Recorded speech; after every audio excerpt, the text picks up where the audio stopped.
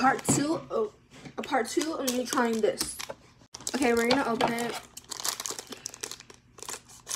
It's called a marshmallow pop. So, yeah.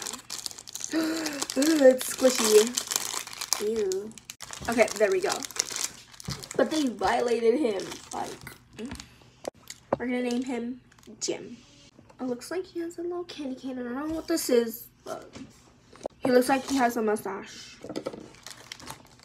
We're gonna take it bite now. That's more gummy than marshmallow.